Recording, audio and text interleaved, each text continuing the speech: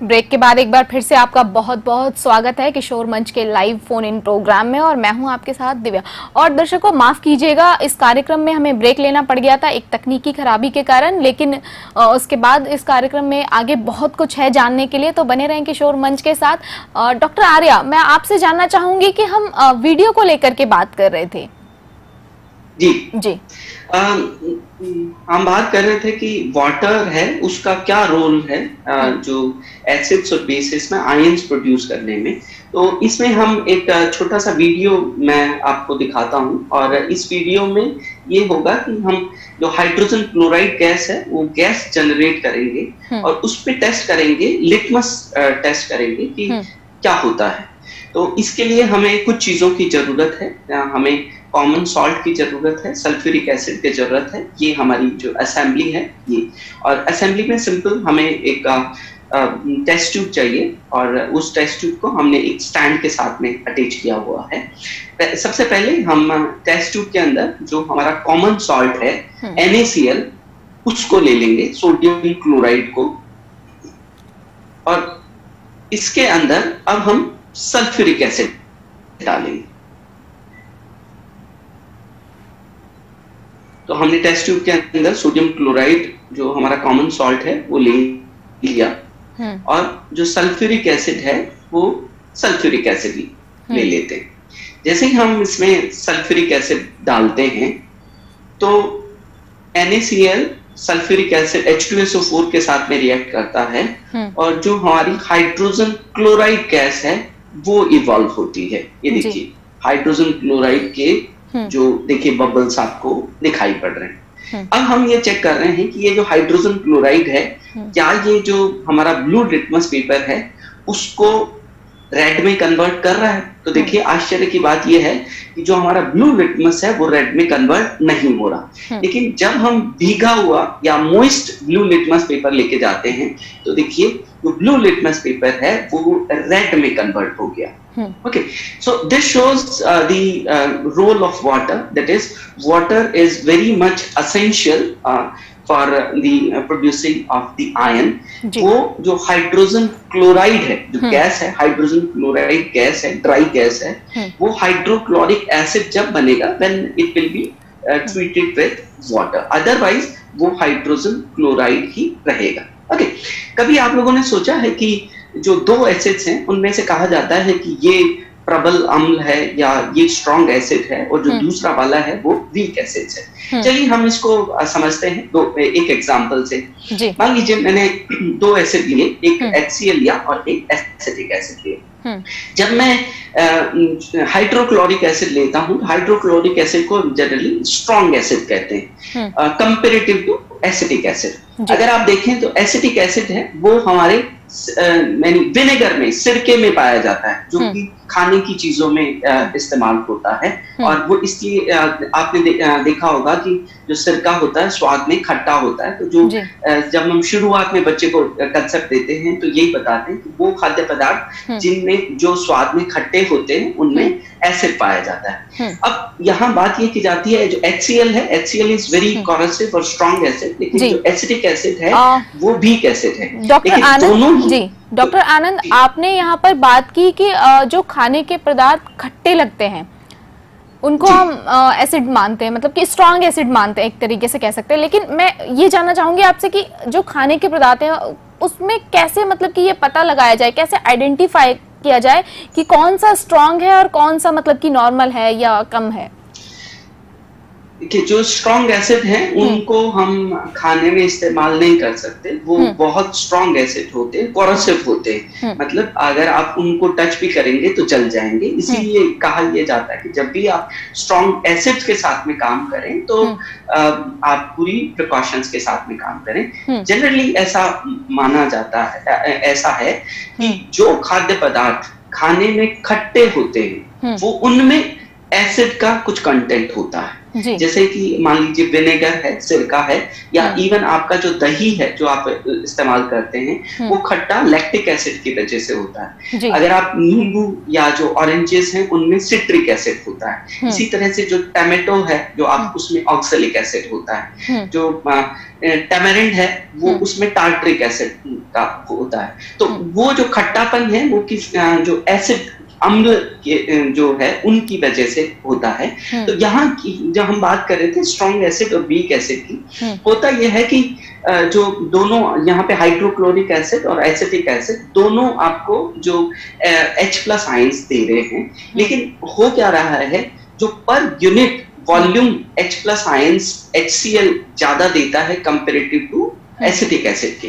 या आप ये कह सकते हैं कि जो एसिटिक एसिड का जो डिसोसिएशन है या हम्म। वियोजन है हम्म। वो कम है कंपेरेटिव टू एच और इसीलिए जो एच है वो स्ट्रॉन्ग एसिड है कंपेरेटिव टू एसिटिक एसिड यही चीज़ बेस के साथ में भी होती है। हम्म। अगर आप NaOH यानी सोडियम हाइड्रोक्साइड और अमोनियम हाइड्रोक्साइड की बात करें तो जो सोडियम हाइड्रोक्साइड है वो स्ट्रॉन्ग बेस है कंपेरेटिव टू अमोनियम हाइड्रोक्साइड क्यों? क्यों? क्योंकि सोडियम हाइड्रोक्साइड आयनाइज जो उसका डिसोसिएशन है ओ एच माइनस आयन्स में हम्म। वो कंपेरेटिवली अमोनियम हाइड्रोक्साइड के ज़्यादा होता है। हम्म। और इसीलिए हम कहते हैं कि the strength of a given acid और base depend upon the number of H plus ion और O H minus ion produce यहाँ पे ये हो रहा है जो स्ट्रॉन्ग एसिड और स्ट्रॉन्ग बेस हैं। वो पर यूनिट वॉल्यूम में H प्लस आयन और OH माइनस आयन ज़्यादा प्रोड्यूस करते हैं इसलिए वो स्ट्रॉन्ग हम्म। इसको एक जो स्केल है उस माध्यम से भी समझ सकते हैं के माध्यम से भी समझ सकते हैं। हम्म। इसको हम पीएच स्केल कहते हैं। और ये जो पीएच स्केल होता है ये ज़ीरो टू फोर्टीन होता है हम्म। Okay okay. सबसे पहले इसको आ, आसानी से समझने के लिए मान लीजिए मैंने वाटर लिया वाटर हम्म। मतलब जल जैसे अगर हम लेते हैं हम्म। तो जल का जो पीएच होता है वो सेवन होता है जी मतलब जल न्यूट्रल है ना हम्म। तो वो एसिड है और ना ही बेस है अगर वाटर का आप 25 डिग्री सेंटीग्रेड पे आप प्योर वाटर लेते हैं तो उसके अंदर H प्लस और O OH minus ion concentration बराबर होती है। मतलब ना तो वो एसिड है ना ही वो बेस है। दोनों में H प्लस और ओ OH माइनस बराबर होता है इसलिए ना तो वो एसिड है ना ही वो बेस है वो न्यूट्रल ओके हम्म। अब अगर इस वाटर के अंदर हम्म। आपने एसिड ऐड कर दिया। हम्म। तो जैसे ही आपने एसिड ऐड किया तो मैंने आपको बताया जनरली एसिड्स में क्या पाया जाता है? एच प्लस आयन जनरली जो एसिड्स होते हैं वो एच प्लस आयन देते हैं। तो जैसे ही वाटर के अंदर आपने एच प्लस आयन्स ऐड किए तो क्या होता है? एच प्लस आयन की कंसेंट्रेशन ओ एच माइनस की अपेक्षा ज़्यादा हो जाती है। हम्म। तो अगर आप इधर देखें तो इसीलिए जो उनका पीएच या जो उनका पीएच है वो सेवन से ज़ीरो यानी सेवन से ज़ीरो तक बढ़ता जाता है। हम्म। तो जितनी ज़्यादा कंसेंट्रेशन एच प्लस आइंस की होता है हम्म। वो एसिड उतना ही स्ट्रॉन्ग होता चला जाता है। अगर आप एसिटिक एसिड और जो एच की बात करें तो अगर एच का जो कंसंट्रेटेड एच जो हाइड्रोक्लोरिक एसिड है उसका जो पीएच है वो दो या तीन के आसपास आता है। तो जो एसिटिक एसिड है वो बीइंग वीकर एसिड वो उसका जो पीएच है वो करीब चार या पाँच के आसपास आता है पाँच या छह के बीच में आता है। हम्म। इसका मतलब जितनी ज़्यादा एच प्लस आयन कंसेंट्रेशन होती है उतनी ही ज़्यादा आपका जो पीएच है या जो हम्म। उसका एसिडिक नेचर है वो इंक्रीज हम्म। होता जाता है। अगर वाटर मॉलिक्यूल जो वाटर के अंदर आप बेस ऐड करते हैं तो बेस में क्या होता है? OH माइनस आयन कंसेंट्रेशन ज़्यादा होती है। तो OH माइनस आयन कंसेंट्रेशन की वजह से एच प्लस आयन कंसेंट्रेशन है वो कम हो गई और हम्म। इसीलिए जो बेसिक नेचर है अगर आप सेवन टू ऊपर की तरफ़ फोर्टीन तक जाएँगे तो हम्म। जो उसकी बेसिक स्ट्रेंथ है वो या जो बेसिक नेचर है वो बढ़ता चला जाता है सो so, पीएच अगर किसी भी जो सॉल्यूशन है उसका सेवन है that means that solution is neutral जैसे कि वाटर है और हम्म। अगर it ranges from zero to seven तब हम ये कह सकते हैं कि जो वो सॉल्यूशन है वो एसिडिक है अम्लीय प्रवृत्ति का है। हम्म। और अगर पीएच सात से चौदह है यानी सात से ऊपर की तरफ़ है तब हम ये कहते हैं कि जो हमारा जो सोल्यूशन है वो जो सोल्यूशन या जो विलियन है वो हमारा क्षारीय प्रवृत्ति या जो बेसिक नेचर का है। जो पीएच है पीएच को पता करने के लिए आप पीएच पेपर भी होता है। अगर पीएच पेपर में क्या होता है एक यूनिवर्सल इंडिकेटर का भी इस्तेमाल कर सकते हैं। यूनिवर्सल इंडिकेटर्स बहुत सारे इंडिकेटर्स हैं उनका मिश्रण है और वो हर पीएच पे अलग कलर देता है। तो जैसे आपने शुरुआत में कहा कि बच्चों में बड़ी क्यूरियोसिटी या इंटरेस्ट रहता है इस पर्टिकुलर एसिड्स और बेसिस और सॉल्ट्स को लेके हम्म। क्यों क्योंकि ये कलरफुल है तो हम्म। अगर जो पीएच पेपर है इसका जो डिफरेंट सॉल्यूशंस के साथ में जब आप उसको डिप करते हैं हम्म। तो it will give different colours और वो डिफरेंट कलर्स के बेसिस पे आप ये आइडेंटिफाई कर सकते हैं कि उसका जो पीएच है वो पीएच क्या है?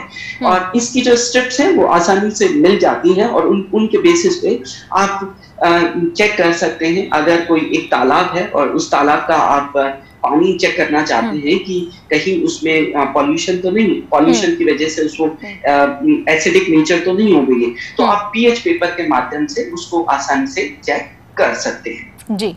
मैं अभी मैं अभी आपको एक क्योंकि क्योंकि अभी जो सिचुएशंस हैं वो हमारे कोविड नाइनटीन की वजह से हम घर पे बैठ के पढ़ाई कर रहे हैं। तो मैं अभी आपको एक वर्चुअल मोड से बताऊँगा ये चीज़ के कि हम्म। हम किस तरीके से घर बैठे हम आ, सीख सकते हैं कि हम्म। आ, हम जो पीएच है किसी भी सॉल्यूशन का हम्म। किस तरीके से चेक कर सकते हैं। ओके देखिए अभी मेरे पास में आ, ना तो पीएच पेपर है ना सॉल्यूशन है। मैं केवल टेक्नोलॉजी के बेसिस पे आपको बता रहा हूँ। तो मेरे पास में क्या है? मेरे पास में एक रिजर्वेयर है this is the reservoir okay और मेरा मेरे पास में एक पीएच पेपर है। ओके okay, ये पीएच मीटर भी कह सकते हैं या पीएच पेपर भी। और इस पीएच पेपर का जो कलर है वो उसी तरीके से है जैसा कि हम्म। आपका जो ओरिजिनल पीएच पेपर होता है उसी तरीके से। देखिए मेरे पास में क्या क्या अपॉर्चुनिटीज़ हैं? ये मेरा जो रिजर्वियर है या जो मेरा आ, आ, है रिजर्वियर इसके अंदर क्या क्या चीज़ें हो सकती हैं? देखिए मैं इसको पानी को खाली कर सकता हूँ। ये हम्म। देखिए मैं इसको खाली कर दिया। ये देखिए खाली।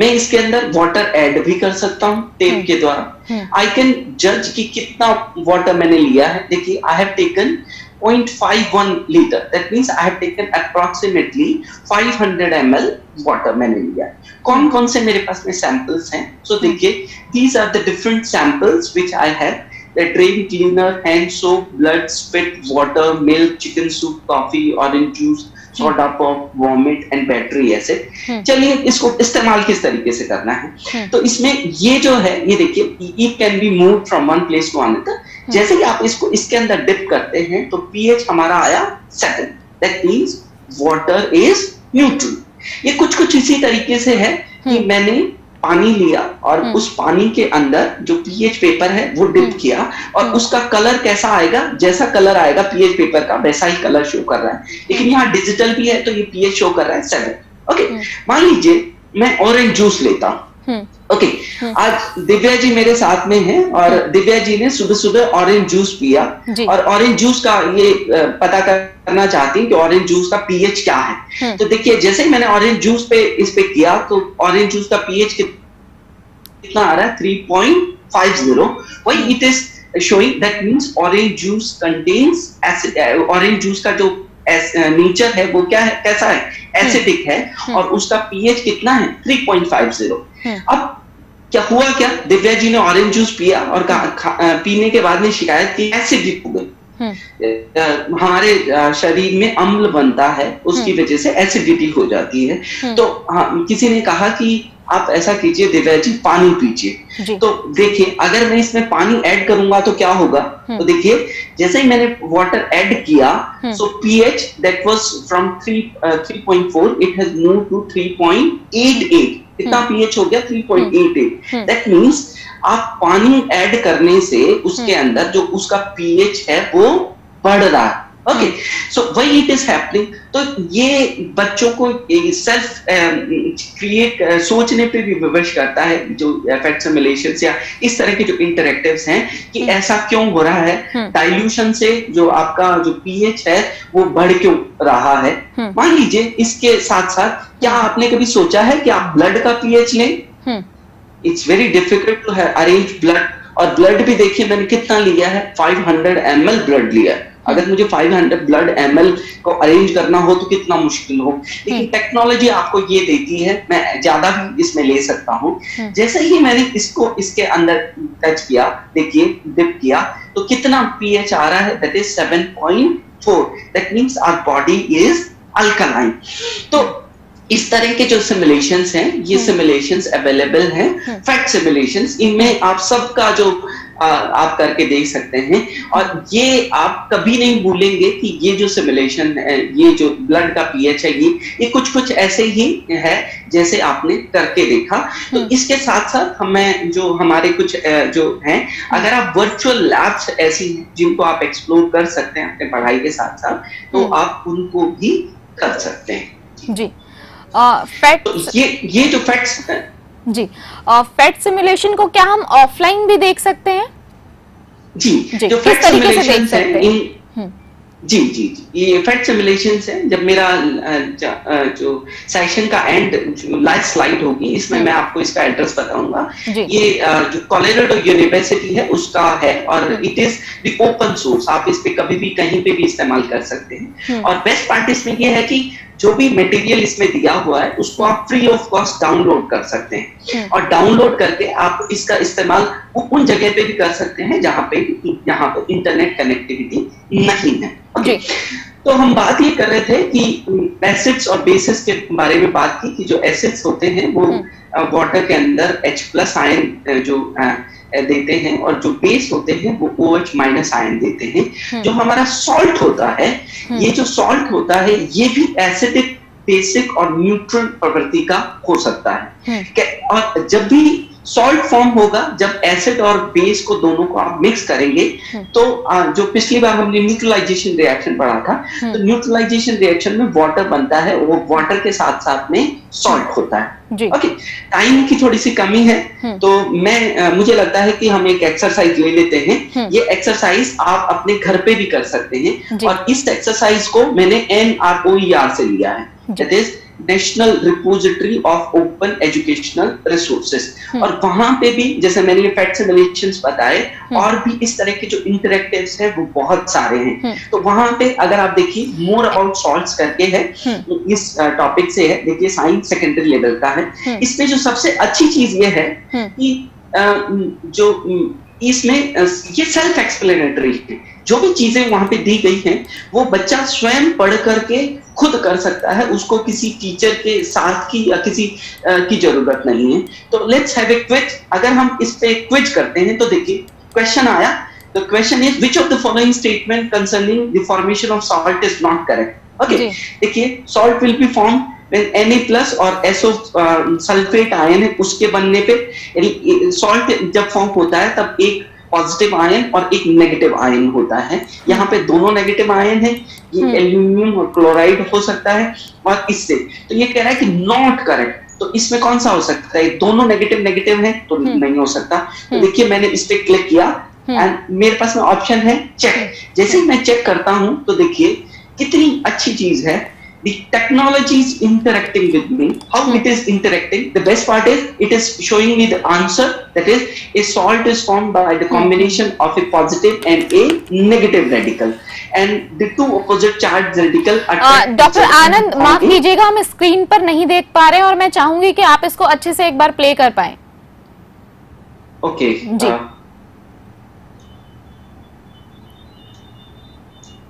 जी आप देख पा रहे हैं मैं मैं इसको दोबारा से करूँ? जी बिल्कुल। जी जी। जी।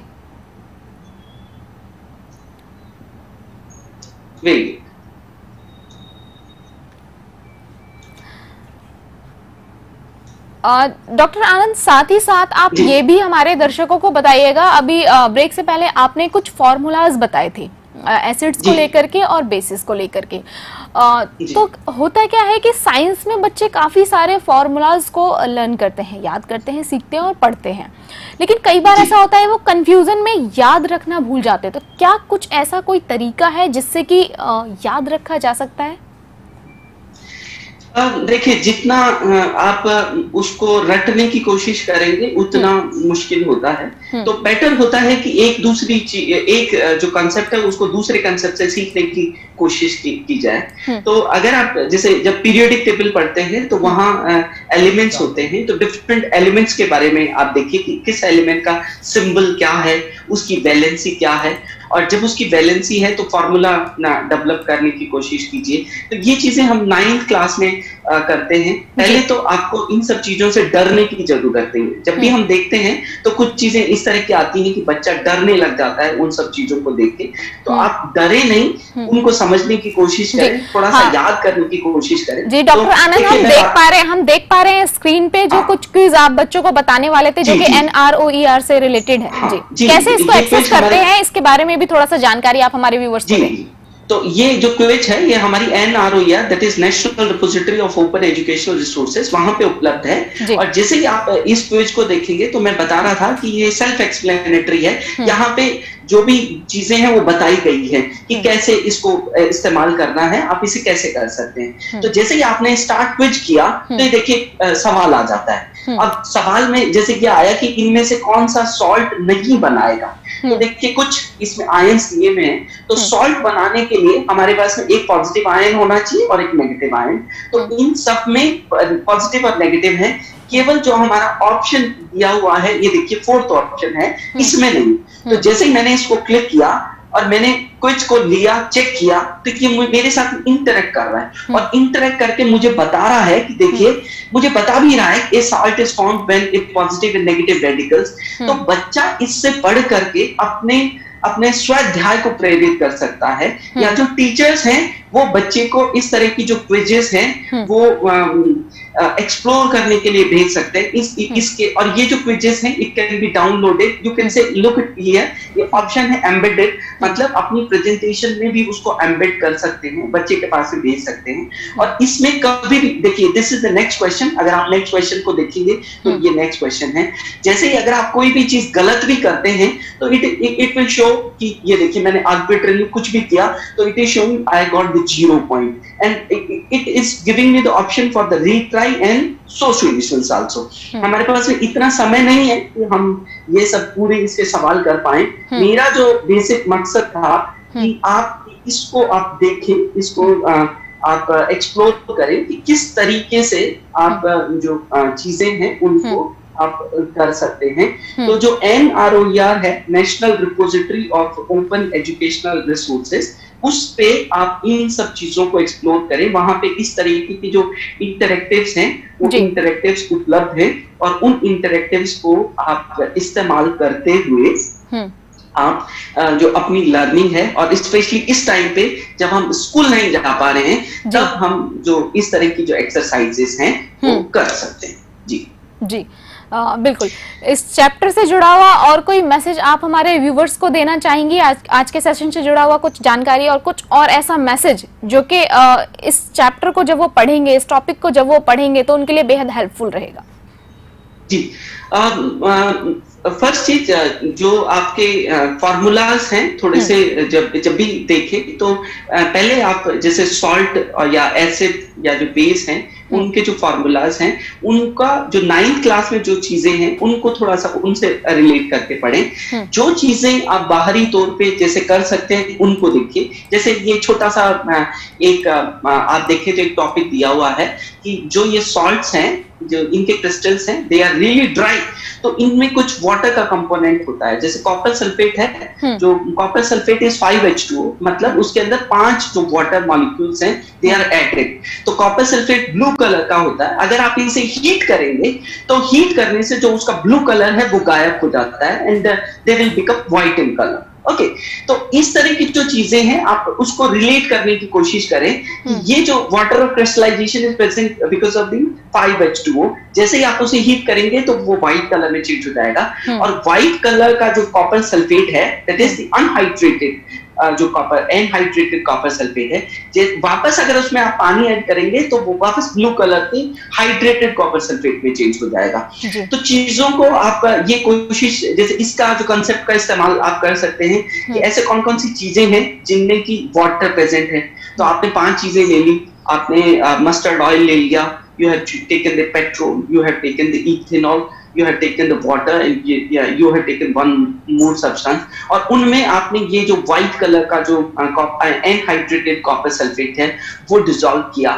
तो किन में से ब्लू कलर में चेंज हो जाता है? अगर आप देखें तो वो जिसमें भी वाटर का कंटेंट है जैसे इथेनॉल है इथेनॉल के अंदर वो चेंज हो जाता है। तो वही it has change because ethanol content water लेकिन अगर आप पेट्रोल के अंदर आप डाल लेंगे तब उसमें चेंज नहीं होता है। तो अपनी बाहरी जो किताबी नॉलेज है उसको बाहरी जो नॉलेज है हम्म। या जो बाहरी ज्ञान है उसके साथ में दुनिया से अगर आप जोड़ेंगे अपने ज्ञान को तो आप ज़्यादा बेटर तरीके से उसे सीख पाएँगे ये हमारे जो लर्निंग हाँ। रिसोर्सेज हैं हम्म। इनमें से जो आ, जो आप टेक्स्ट बुक है वो हम्म। तो आप इस्तेमाल करते ही हैं। तो एनसीईआरटी की जो लेबोरेटरी मैनुअल है या जो एग्जाम्पलर प्रॉब्लम्स हैं इनके साथ साथ आप जो वेब रिसोर्सेज हैं इन वेब रिसोर्सेज को भी एक्सप्लोर कर सकते हैं इसमें जो आ, एनआरओईआर मैंने जो आपको बताया this is National Repository of Open Educational Resources that is you can find it at N R O E R dot G O V dot in और इस पे आपको जो मैंने जितने भी जो मटेरियल या जो वीडियो इस्तेमाल किए हैं वाटर का भी पाठक हम्म। का भी जो वीडियो था हम्म। वो भी यहाँ था। हम्म। इसके साथ साथ ई पाठशाला और जो फैक्ट सिमुलेशन है जो मैंने दिखाई थी ये फैक्ट डॉट कॉलेटो डॉट ई यहाँ से आप इनको एक्सेस कर सकते हैं और इस्तेमाल कर सकते हैं। जी बिल्कुल। डॉक्टर आनंद हमसे जुड़ने के लिए इतनी सारी जानकारी साझा करने के लिए महत्वपूर्ण बातों से अवगत करने के लिए आपका बहुत बहुत धन्यवाद। जी मैम थैंक यू जी। किशोर मंच पर लाइव कार्यक्रम का सिलसिला आगे भी लगातार जारी है। बाकी के विषयों से जुड़े रहने के लिए आप देखते रहे किशोर मंच, बने रहे किशोर मंच के साथ, लेकिन अभी के लिए दीजिए इजाज़त। नमस्कार।